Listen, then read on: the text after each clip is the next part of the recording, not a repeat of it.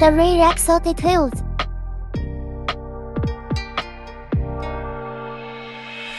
Smooth operation.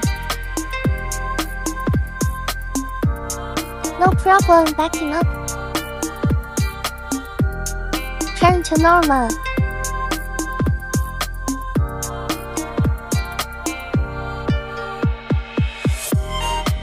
It can be driven on rough roads.